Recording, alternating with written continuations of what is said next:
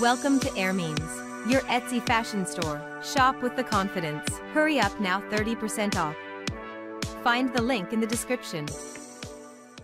Sandoval is far from over as legal implications loom after Raquel Leviss sued Ariana Madix and Tom Sandoval for privacy invasion, which, in return, received counter-responses from the duo under accusation of sharing the 29-year-old intimate videos. The Florida native replied with an anti-SLAPP or strategic lawsuit against public participation that would limit the TV celebrity to publicly defaming the reality star. Along with this, Ariana claimed she did not share Raquel's steamy photos after Discovering them in her ex-phone, Tom, meanwhile, prepared his defense through a demurrer to her ex-partner suit with whom he was dating secretly, Cornell University's Legal Information Institute explains it is a challenge to the sufficiency or adequacy of pleadings of another party, and the case may be set aside if it is granted, however, it seems Raquel's legal team remains unfazed by the pair's countermotions.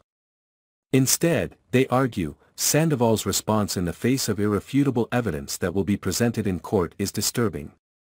While, for Ariana, her lawyers hit back in a statement to E!